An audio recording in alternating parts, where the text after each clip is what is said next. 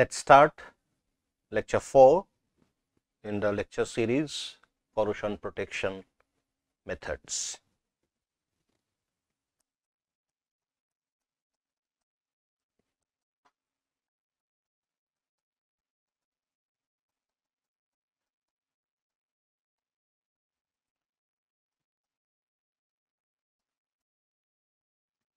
And today's topic will be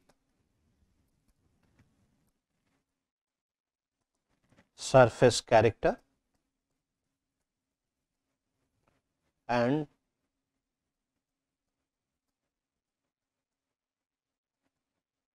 geometry. Now, when we talk about surface character, let us say we fix a material, say uh, steel or aluminum alloys. Now, the surface can be hard, surface can be soft, surface can be smooth, surface can be rough and when we have a rough surface that roughness can be pre-designed or it can be random. All those conditions can lead to a different degrees of corrosion. And on the geometry side, what I mean by geometry is the geometry of the component. Now, that is a serious aspect. We will talk more about this geometry as well as surface character, but here it is a kind of introduction to surface character as well as geometry and subsequent corrosion aspect. And if we understand that definitely we can think of a suitable protection method. So, when we talk about surface character,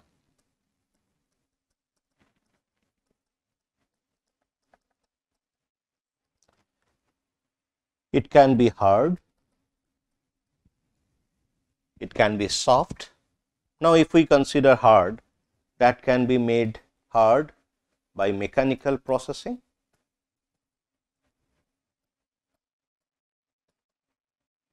It can be made hard by doing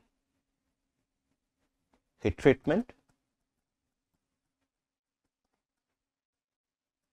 In case of steel, we can make it martensite by doing quenching operation.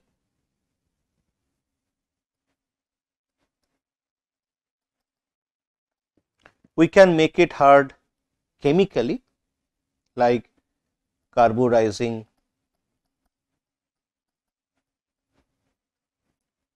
or carbonitriding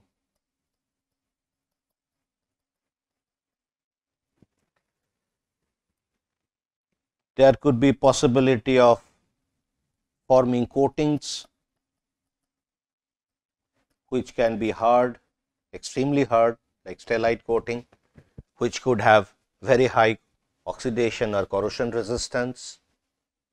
Now, these are some of the examples and in fact, we will talk more on these coatings when we talk about the corrosion protection by applying different coatings like organic coating, metallic coating, then we can have cathodic coating, anodic coating, those things will come up. Now, this is about the hard surface. Then we can make a surface a textured and here textured is I am talking about physical morphology.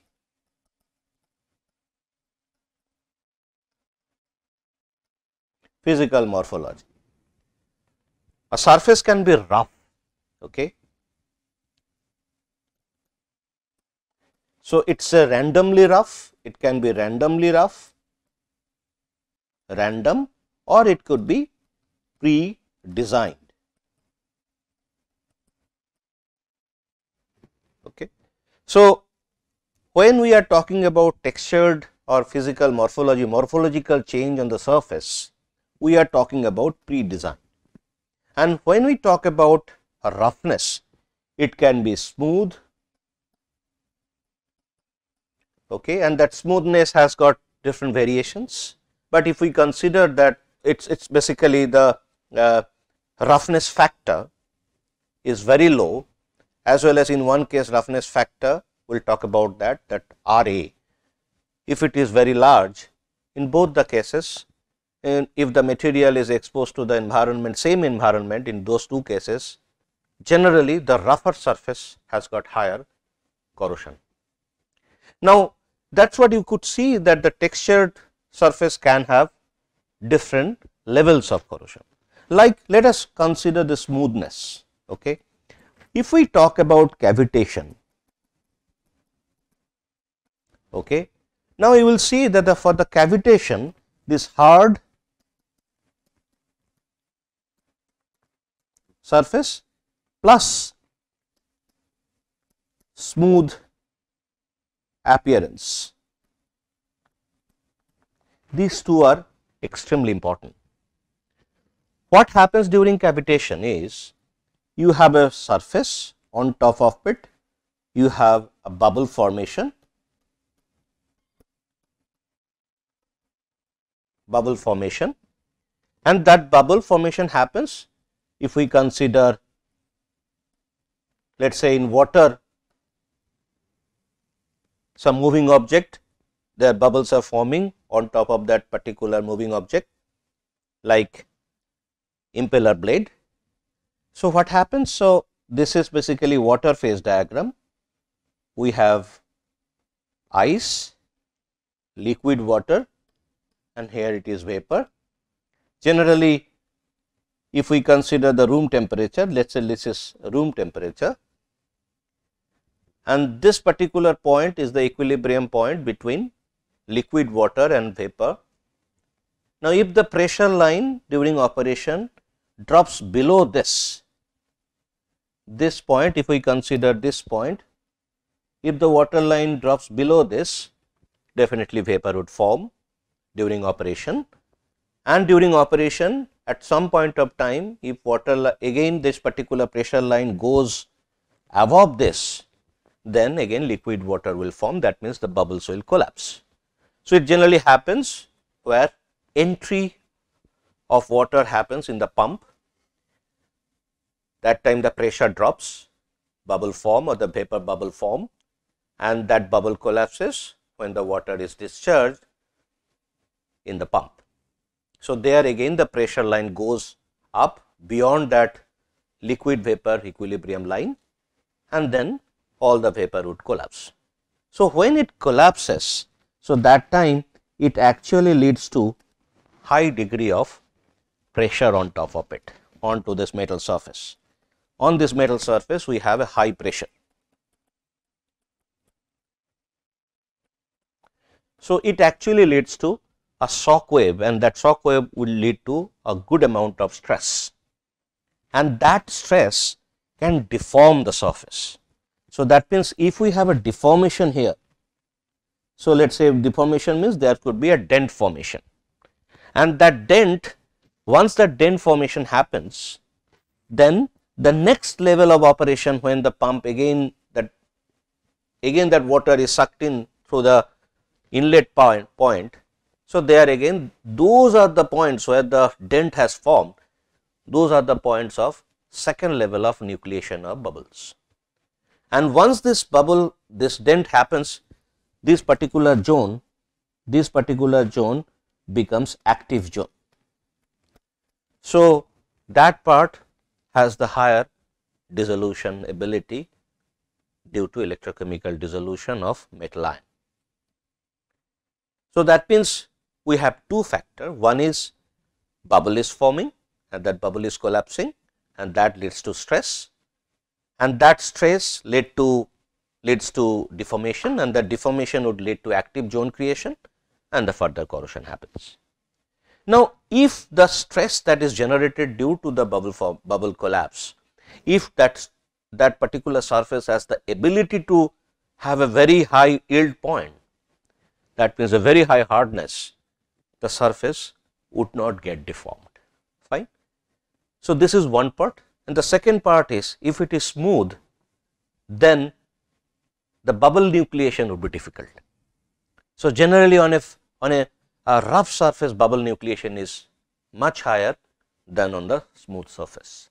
So, that means if we have a hard surface plus smooth appearance, it is good to have good amount of cavitation resistance.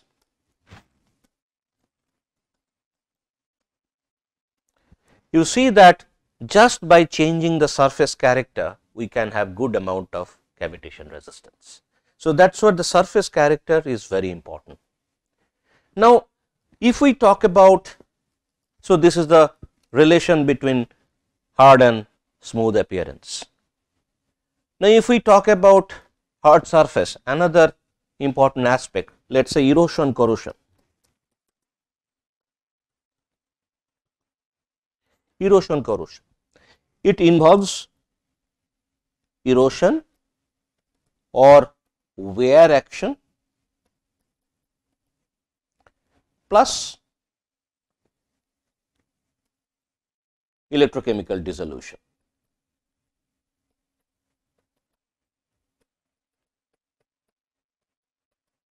which is nothing but corrosion.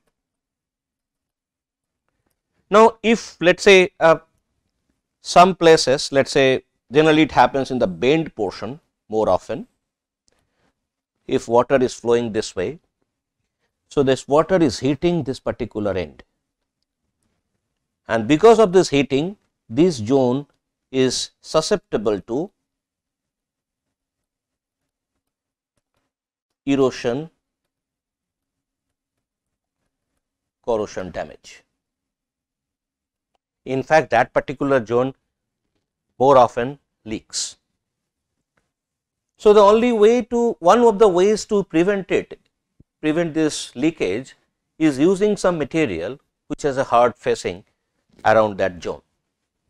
So, then it would definitely re resist that wear action because whenever water is coming and heating there, there will be a serious wear action that wear action can be prevented.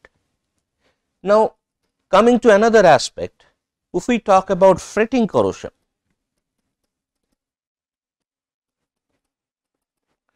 fretting corrosion, it the generally it happens, uh, let us say uh, the uh, fish plate for joining rails. So, that time if we have hard face there, we can have good amount of fretting corrosion resistance. Like that hard surface would always help to prevent wear and whenever wear happens that particular worn out zone has the higher susceptibility to corrode. Okay. So, that means the corrosion wear or wear corrosion that can be prevented to a great extent by using hard surface because hard surface prevents wear or resist wear. Okay. If we take a pre-designed texture like the surface that is what there are ways to prevent corrosion, uh, severe research is uh, serious research is going on there, people have been doing it by making the surface hydrophobic.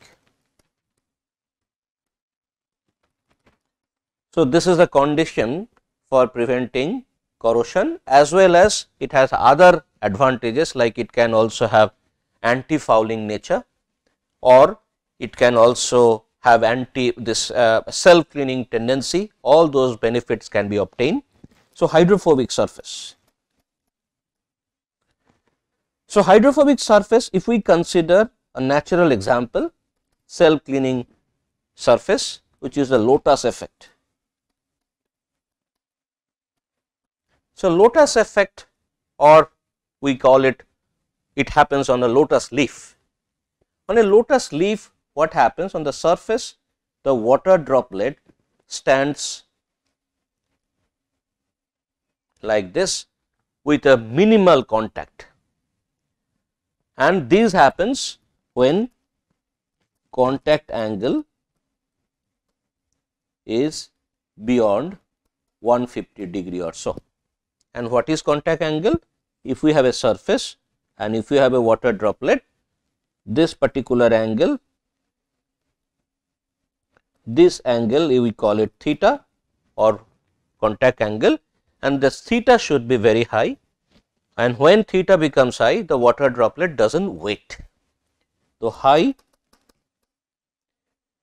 theta less wetting. and if water does not wet the surface that means there is a least contact between electrolyte and the metal surface and on the lotus leaf exactly that thing happens. So, water droplet stands like a droplet and it is a it, and then when you tilt it it just rolls without leaving any water particle on top of the lotus leaf and that way it also cleans the surface if there is any dirt or something it cleans the surface. The same effect people are trying to mimic on the metal surface. If we look at the lotus leaf microscopically, we will see that the lotus leaf has lot of pillars. Okay. So, those pillars on top of these pillars water droplet droplet can stand like this. Those pillars are holding that water droplet. Similar textured surface people are trying to generate on metal surface. So, that it also the the contact angle increases and because of the increase in contact angle we have least very less water wetting and because the water is the electrolyte there if the wetting is less then definitely it would have very low level of corrosion attack fine. So, this hydrophobic surface is another way to prevent corrosion, but that time you have to actually prepare the surface and that surface preparation we will talk later. The surface preparation can be by just changing the morphology or chemically or adding some coating. There are coatings available uh, hydrophobic coating, but still uh, the major problem with this hydrophobic surface is the stability of that surface with time. Okay. So, that challenge is still there. So, we have to see how it moves as the research goes on. So, that means we are introducing lotus effect on the metal surface or the textured surface and getting hydrophobicity.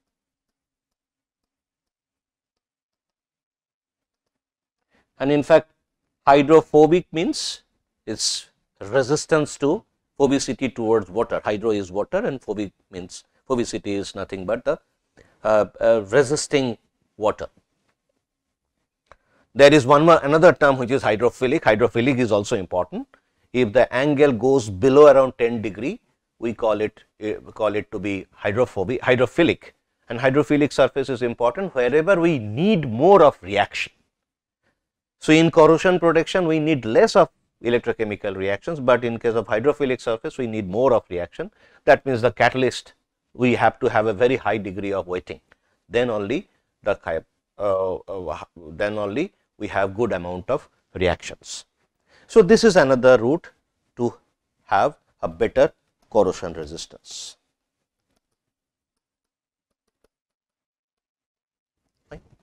So, now we have you see we by changing the surface character we can we can change the uh, corrosion pattern.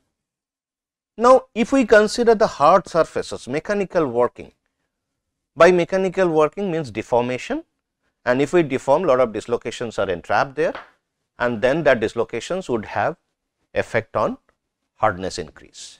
Heat treatment means if we take a steel to austenitic zone and make it austenite and then when we quench it in oil or water or some other quenchant we can get martensite and that martensite is a hard phase. And at times we should not keep martensite as martensite because it is a brittle phase. So, some many a times we have to temper it. So, many of those materials are basically tempered martensitic structure like uh, gears are actually tempered martensitic structures at for the big gears like uh, in mill used in sugar mill. Now, in railways also there are many steel components which are of tempered martensitic structures like the steel used for springs on on top of wheel if you see any train if you see there are two uh, I think uh, two or four springs. So, those springs are actually they have structure of martensitic structure. Okay. So, like that way you can increase the hardness carburizing is one carbon nitriding is one where in carburizing what you do chemically we, we heat it, heat the steel in presence of carbon atmosphere. So, that carbon reacts with iron or some carbide forming element like chromium, they form carbides and those carbides are very hard carbides, the surface becomes very hard. This is also used in case of bearings okay, or gears. So, those are some of the instances where hard surfaces are made and those hard surfaces would have different corrosion character. Now, coming to the another aspect which is the geometry.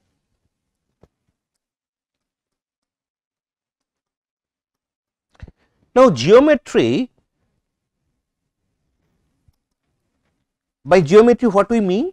Let us say if we have a structure like this, let us say we have a tank. Let us give some example. And if the tank is like this, tank is like this, and if it is a tank that means it stores water let us say. So, we must have inlet and outlet.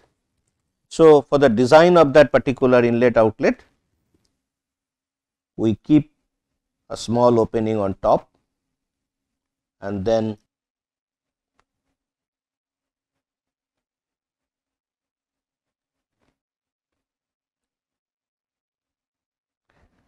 this is one design. So, this is inlet, this is outlet.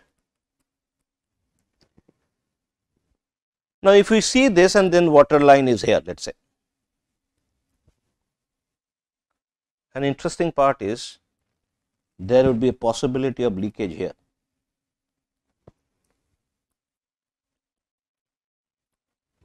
Because it is a sharp corner,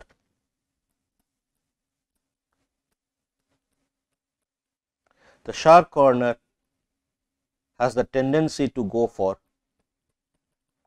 crevice corrosion. And out of all forms of corrosion, crevice and pitting, they are extremely localized corrosion. And the locally the corrosion happens and then the corrosion point will go inside the material and then finally there could be leakage in the tank. So, it happens because there is a sharp corner and crevice point is created. Crevice is nothing but a sharp corner. So, how to prevent it? We can have a design modification that means here that is the design part or the geometry part is coming into picture. So, the next level of modification could be instead of this sharp corner if we make it rounded. So, then definitely we have less amount of crevice corrosion because the crevice point I am avoiding. So, that the next level of design part would be I can make it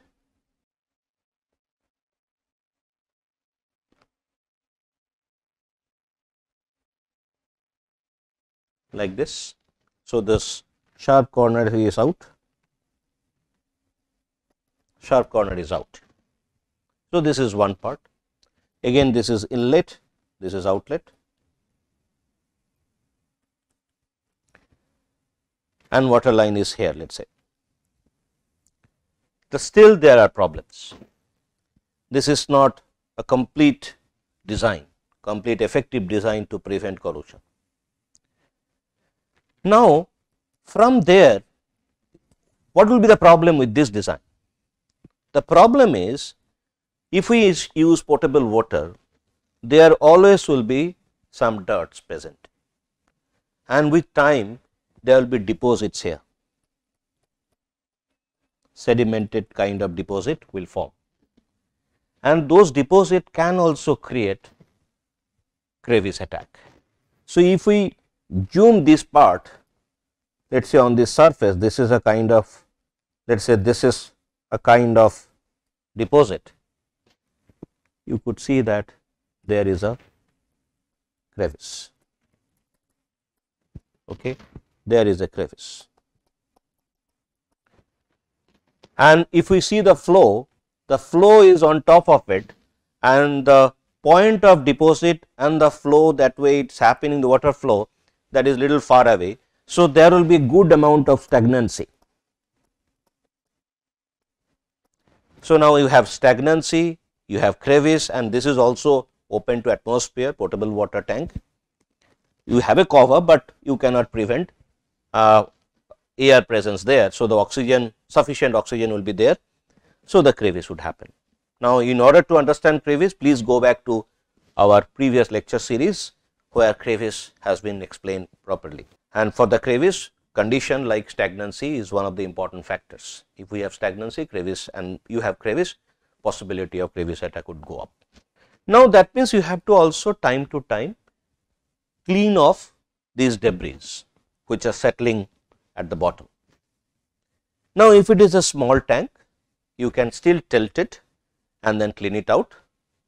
But even if you have a small tank, still you have to uh, you have to uh, have lot of efforts to clean it off because you have to scrub it and then uh, take it out and even if it is a if it is a large tank it is not easy to remove those dust or the debris or the sediments deposit.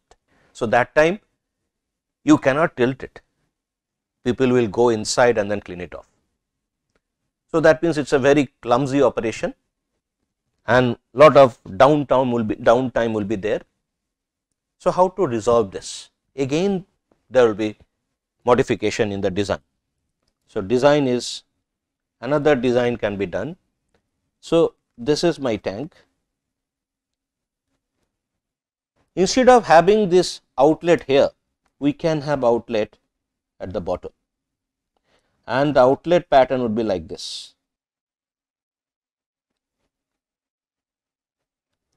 If we have outlet pattern like this, water is coming like this and let us say this is water line and water is flowing out. Even if there is a chance of deposit, because the flow is like this, with those flow, the small size or the lighter debris can come out through this orifice. So, the possibility of deposit would be less and again possibility of crevice attack will be less. So, that means you could see without changing the material, somebody might think that let us use stainless steel tank, but still if it is a stainless steel tank and if we have a crevice possibility, it will be more severe. Okay? And we will discuss that later, why it becomes more severe if it is a stainless steel tank. But you could see that without even if it is a mild steel tank, without changing the material aspect or the processing aspect or the hard surface aspect. Let us say we I put a corrosion resistant coating, it is not needed at all. We just simply change the design so that there is a smooth removal of those debris with the flow direction as well as as far as possible we make we avoid the sharp corners. Wherever there is a possibility of sharp corners we cut it we, we make it rounded okay? And then those crevice corrosion tendency can be reduced to a great extent okay? So that means this is one of the design aspects the geometry aspect of the material so like that there could be several geometry aspects and there are some thumb rules okay so we'll talk about those thumb rules when we talk about geometry in a greater detail okay so now one more point I just would like to mention. At times we also insert the pipe like this and that is very bad. In fact, one must cut off chop off this particular extended protruded part. Why? Again there is a crevice you see. If you have inserted pipe into the tank and that tank connection between the pipe and the tank that is a sharp corner and that corner one cannot avoid it. It will always be there. So, that is what there is a possibility of crevice attack at, that, at those points. So, any tank the pipeline should not be protruding inside the tank and that is a bad thing that is a bad design and here geometry also comes with design. So, that means geometry and design both come together and we will discuss more about this. Now, you could see that surface character whether it is a chemical character or whether it is physical character those are important and the second part is the geometry part or the design part.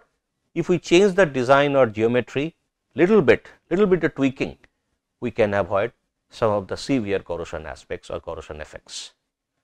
We will talk more on this geometry as well as surface as we go ahead. In our next lecture, we will talk about the classifications of corrosion protection methods. Okay. So, till then let me stop here. Thank you.